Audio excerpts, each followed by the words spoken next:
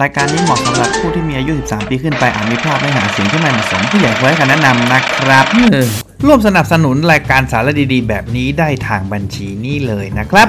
episode นี้จากหนูมุกนะครับ ขอมาเรื่องลิง marmoset ด้วยค่ะวายสายลิงน่ารักนั่นเนี่ย โอเค เดี๋ยวพาไปดูลิงน่ารักกันนะ เปิดด้วยท่าแหงนคอเลยนี่ไง โอ้โหมุ้งมิ้งสุดๆเลยว่าไหมโอ้โหอยากได้มาเลี้ยงสักตัว โอ้โห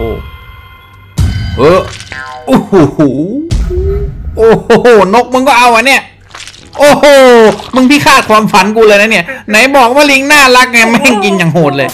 ถ้าพูดถึงสัตว์เลี้ยงแฟชั่นตัวน้อยติดเทรนด์อยู่ตอนนี้แล้วล่ะก่อนนี่ก็คงจะหนีไปไม่พ้นกับเจ้าลิง marmoset เลยนะครับ มองเฉียวๆแล้วนึกว่ากระรอกเนี่ยจริง ๆ แล้วเป็นลิงนะครับ ตัวมันเล็กเฉยๆก็เพราะด้วยความที่ลิงพวกนี้มันตัวเล็กน่ารักเนี่ยนะครับจึงเป็นที่นิยมของสายสัตว์เลี้ยงสัตว์แปลกกันนะ และอีน้องลิงพวกนี้เนี่ยมันมีที่มาที่ไปยังไงเขาเอาพวกมันมาจากไหนถึงเอามาเพาะให้พวกเราเลี้ยงกันได้ วันนี้วิชาเกินสัตว์โลกก็จะพาทุกคนไปหาคำตอบด้วยกันนะครับยินดีต้อนรับเข้าสู่รายการวิชาเกินสัตว์โลกซีซั่น5นี่นี่ก็น่ารักอีกตัวหนึ่งปิกมี่มาโมเสสโอ้อะไรโอ้โหบลักกัก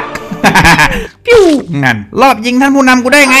น้องลิงมาโมเสสพวกนี้เนี่ยนะครับ จริง ๆ แล้วพวกมันถือว่าเป็นลิงที่อยู่ในกลุ่มของลิงโลกใหม่อะนะครับ นั่นก็หมายความว่าพวกมันก็เป็นลิงที่มีถิ่นกำเนิดอยู่ในแถบของอเมริกาใต้อะนะครับแถวแถวๆเขตประเทศเอลกวาดอร์โคลัมเบีย หรือว่าบราซิลอะไรประมาณเนี้ยนะครับที่มันมีป่าอเมซอนน่ะคือว่าก็ว่าเถอะนะครับ แถวป่าอเมซอนหรือว่าแถวป่าดิบชื้นอเมริกาใต้เนี่ยโอ้โหมีความหลากหลายทางชีวภาพเยอะแยะมากมายเลยนะครับและอีลิงพวกนี้เนี่ยก็มีมากมายหลากหลายชนิดด้วยนะครับ นับแค่สายพันธุ์ลิงที่มีคำว่า marmoset อยู่บน common name เนี่ยนะ โอ้โห มีตั้ง 20 กว่าสายพันธุ์แล้วนะครับ ไม่ว่าจะเป็น silvery marmoset black tail marmoset common marmoset หรือว่า pygmy marmoset ที่เป็นลิงที่ขนาดเล็กที่สุดในโลกก็อยู่ในแก๊งนี้เหมือนกันนะครับก่อนที่จะเข้าเรื่องของลิง marmoset เนี่ยพี่อยากให้ทุกคนทำความเข้าใจเกี่ยวกับวงของลิง marmoset ก่อนนะนะครับ ชื่อวงว่า Callitrichidae นะครับจริงๆลิงในวงนี้ไม่ได้มีแต่แก๊ง marmoset นะครับยังมีพวกลิง tamarin มีพวก lion tamarin อีกนะ แต่ในคลิปนี้เราขอจำกัดคุยกันแค่เรื่องเจ้า marmoset ละกันนะครับ อย่างที่เห็นนะครับว่าลิงในวงนี้เนี่ยเป็นลิงกลุ่มที่ตัวเล็กกระจ่อยหลอยอะนะครับไม่ได้ใหญ่อะไรมากมายเลยนะ แม้แต่ลิง tamarin ก็ใหญ่ขึ้นมาแค่หน่อยเดียวเองนะครับคืออี tamarin นี่จริง ๆ ก็ถือว่าเป็นลิงขนาดกลางไปค่อนข้างเล็กเลยก็ว่าได้นะ แต่อันที่จริงเรื่องที่เด่นของลิงในวงนี้นะไม่ใช่เป็นเพราะว่าขนาดของพวกมันเล็กหรอกนะครับ แต่คุณภาพครับจอ แต่เรื่องที่ทำให้ลิงกลุ่มนี้มีความยูนิคนั่นก็เป็นเพราะว่าไอ้ลิงแก๊งนี้เนี่ยนะเป็นลิงเพียงแก๊งเดียวนะครับที่มีเปอร์เซ็นต์การคลอดลูกแฝดสูงถึง 80%ในทุกคลอกเลยนะครับจริงๆแฝด3แฝด4ก็เปอร์เซ็นต์สูงเหมือนกันนะเออแล้วทำไมมันถึงเป็นอย่างนั้นเราวะเนี่ยเอางี้ครับไม่ว่าจะมีลิงกี่สายพันธุ์ในแก๊งนี้เนี่ยพี่เอขอกลับมาที่มาโมเสสก่อนละกันนะครับเรามาเริ่มกันที่ตัวที่คอมมอนที่สุดนั่นก็คือเจ้าคอมมอนมาโมเสสนะครับข้อมูลพื้นฐานอะไรทุกอย่างสามารถทำความเข้าใจจากลิงชนิดนี้ได้หมดเลยนะครับเพราะการการดำเนินชีวิตของพวกมันนั่นก็คล้ายๆ กันเลยนะ เจ้า common marmoset หรือว่าน้องลิง marmoset หูขาวเนี่ยนะครับจริง ๆ แล้วพวกมันเป็นลิงที่มีถิ่นกำเนิดอยู่ในทางตะวันออกเฉียงเหนือของประเทศบราซิลนะครับแต่ปัจจุบันอีลิงน้อยพวกนี้นี่แพร่ไปเกือบทั่วประเทศแล้วแหละกลายเป็นลิง alien invasive species ไปแล้ว เนี่ยขนาดในเมืองเสาไฟฟ้าพวกมันยังมาปีนอยู่กันเลยเห็นไหมอู้ทำไมลิงบ้านเราไม่น่ารักเหมือนลิงบ้านบราซิลบ้างวะ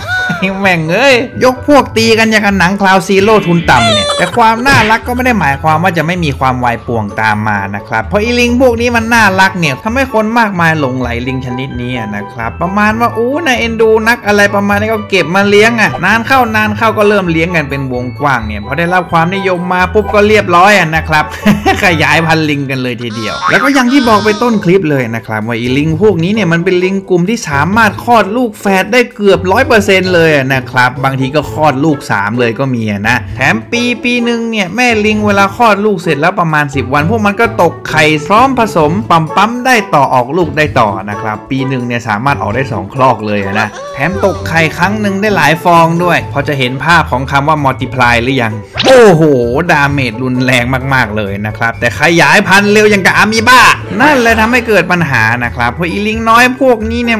มันขยายพันธุ์กันเร็วมากๆเลยนะครับ แถมออกลูกทีนึงได้หลายตัวด้วยนะ จริง ๆ เรื่องพวกนี้มันก็ไม่ได้เป็นปัญหาอะไรมากนักหรอกนะครับถ้ามันไม่กระทบสายพันธุ์อื่นๆ ใกล้เคียงของพวกมันนะนะครับ คืออีลิงพวกนี้เนี่ยมันขยายพันธุ์เร็วใช่ไหมมันแพร่กระจายเร็วกลายเป็นเอเลี่ยนสปีชีส์บ้างอะไรประมาณเนี้ยแล้วปัญหาที่เกิดขึ้นนั่นก็คือถิ่นที่อยู่นั่นเองนะครับพอมันย้ายไปเมืองนู้นเมืองนี้มีสายพันธุ์พื้นถิ่นที่เป็นมาาโมเสสเหมือนกัน มันก็จับโจ๊ะกันเข้าให้กลายเป็นมาโมเสสสายพันธุ์ผสมไปอีก ก็เลยเสียหมามาโมเสสสายพันธุ์อื่นไปอีกนะครับ โอ้แต่ปัจจุบันนี้ก็คงแก้ปัญหาไม่ทันแล้วล่ะครับ จะกำจัดก็สงสารมันนะมันน่ารักจะตายอะปัจจุบันนี้ลิงพวกนี้กลายเป็นลิงในเมืองเหมือนกับลิงกังลิงแสมบ้านเราเลยนะครับ เนี่ยเกาะสายไฟอยู่กันหาขยงขยะกินในเมืองกันเลยทีเดียวนะครับอืม ทำลูกหล่นกลางถนนยังมีมาแล้วเลยนะครับ โอ้ย ปัญหาครอบครัวจริง ๆ อีลิงพวกนี้ทำไมเธอเป็นแม่ที่ไม่ดีแบบนี้ฮะโสระยะ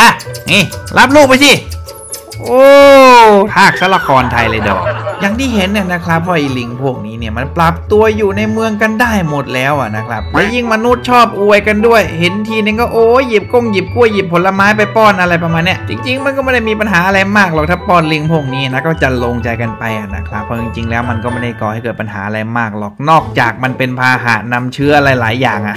เมื่อช่วงปี 2014 เนี่ยนักวิทยาศาสตร์พบเชื้อพิษสุนัขบ้าสายพันธุ์ใหม่ในลิงพวกนี้ด้วยนะครับสามารถแพร่สู่คนได้สบายๆเลยดู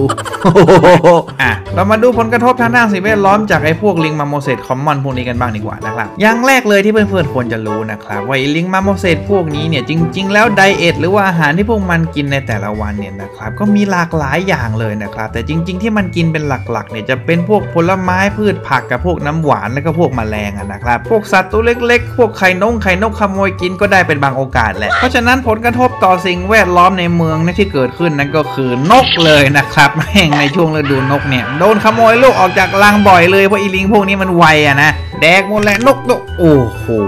ปากติดเลือดเลย โอ้ไอฆาตกร จริงๆ มันก็เป็นธรรมชาติของลิงแหละนะครับ หาอะไรได้ก็จับแดกหมดเลย ลิงพวกนี้มันปรับตัวเก่งนะครับ แล้วก็อาหารค่อนข้างจะหลากหลายนะ โอ้โห หางขี้เกียมคามือเลย ตัวเล็กแต่ปีศาจชัดๆไอ้พวกนี้ จริงๆ ก็มีมาโมเสสหลายสายพันธุ์นะครับ ที่มันผันตัวมาเป็นมาโมเสสในเมืองเนี่ยไม่ได้มีแค่คอมมอนมาโมเสสหรอกนะ แต่มันก็เป็นผลกระทบจากที่มนุษย์ขยายพื้นที่อยู่อาศัยเข้าไปใกล้เขตป่าด้วยแหละก็เรื่องเดิมิมอะ่ะขี้เกียจพูดแล้ว และด้วยปริมาณประชากรของลิงสายพันธุ์นี้ที่มีอยู่มากจนแบบว่าเออ ถ้าจะไปจับไปเลี้ยงจับไปขายกันมันก็ไม่ได้อันตรายอะไรมากเนี่ยนะครับ ลิงสายพันธุ์นี้จึงเป็นที่นิยมในการนำมาทำเป็นสัตว์ทดลองนั่นเองนะครับ ไม่ว่าจะเป็นทดลองยาทดลองวัคซีนทดลองหาเหวอะไรก็ช่างเนี่ย ลิงสายพันธุ์นี้โดนแบบดับต้นๆเลยนะครับ สายพันธุ์ของลิงมาโมเสสเนี่ยนะครับ จริง ๆ แล้วมันก็เยอะอยู่นะอย่างที่บอกไปต้นคลิปเนี่ยมี 20 กว่าสายพันธุ์นะนะครับ แต่จริง ๆ แล้วสายพันธุ์ 20 กว่าสายพันธุ์เนี่ยมันจะซอยย่อยแบ่งออกไปอีก 3 สกุลนะครับ สกุลแรกที่เป็นสกุลที่เจอบ่อยและเจอง่ายที่สุดนั่นก็คือสกุล c a l a t r e x นะครับ ซึ่งถือว่าเป็นสกุลไอคอนของลิง marmoset เลยนะครับ เป็นสกุลที่คนรู้จักกันเยอะที่สุดแล้วอะนะอีลิงน้อยที่อยู่ในสกุลนี้ส่วนใหญ่แล้วน้ำหนักจะไม่ถึงครึ่งกิโลเลยด้วยซ้ำนะครับ ประมาณ 2-300 กรัมก็ใหญ่แล้วแหละ สกุลนี้มี 6 ชนิดนะครับ แต่ขอยกตัวอย่างมาแค่บางชนิดพอเนาะก็จะมีเจ้า common marmoset นั่นแหละนะครับที่อยู่ในสกุลนี้นะลิงอื่นๆที่อยู่ในสกุลนี้ก็หน้าตาคล้าย ๆ กันแต่แค่เปลี่ยนสีหน้าเป็นสีนู้นหูเป็นสีนี้อะไรประมาณเนี้ยอย่างไอ้เจ้า white head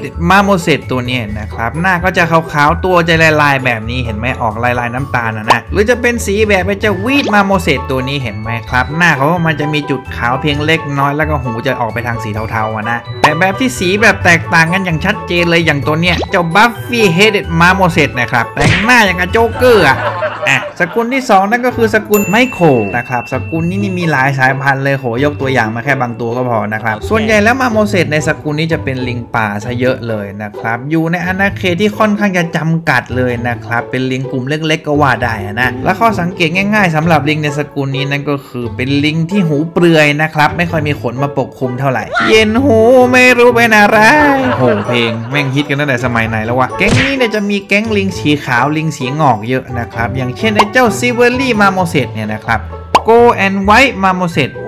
marmoset โอ้โห แม่งสีใกล้เคียงกันหมดเลย มันมาแยกกันตรงไหนวะเนี่ย และยิ่งแล้วใหญ่สายพันธุ์ marmoset ที่เพิ่งค้นพบกันเมื่อปี 2 ปีที่แล้วเนี่ย Schneider marmoset ก็ยังสีคล้ายกันอีกนะครับ โอ้ยปล่อยนักวิทยาศาสตร์มาไปแยกกันเองเฮ้ยกูงงไปหมดแล้ว แต่ในสกุลนี้ตัวที่ spin-off ออกมาก็มีบ้างแหละ อย่างอี Santarem marmoset นี่เออ สีแบบนี้ค่อยยังชั่วหน่อยนะครับก็แยกออกมาง่ายหน่อยเนาะไม่ใช่สีขาวเหมือนตัวอื่นหมดนะเนาะ อีกสกุลหนึ่งที่เป็นที่โด่งดังของ marmoset นั่นก็คือสกุล Cebuella นะครับ สกุลของน้อง pygmy marmoset ละตัวเนี้ยน่ารัก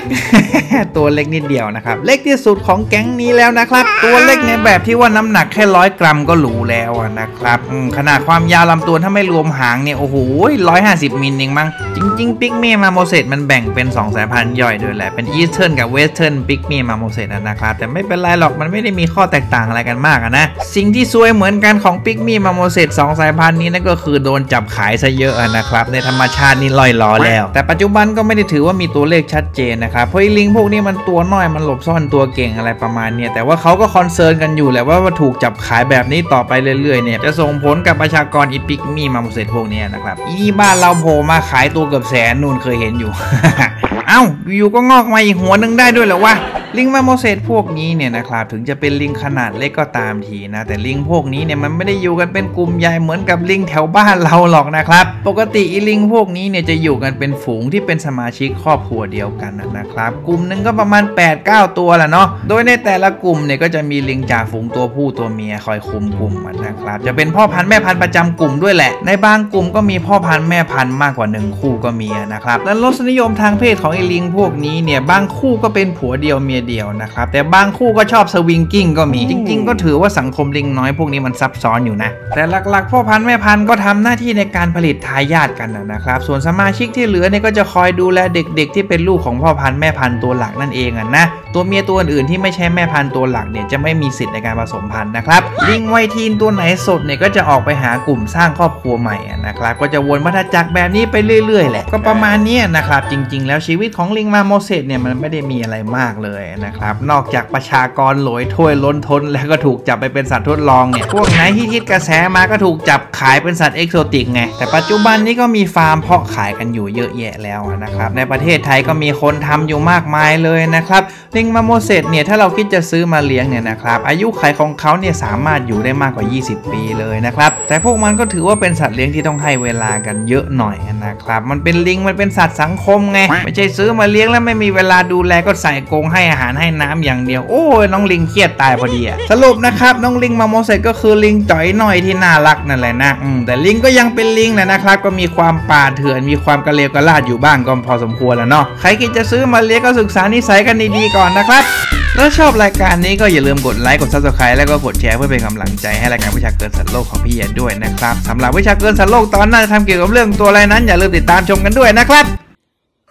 Good popsicle. Sugar free popsicle. Yeah, he's a good boy.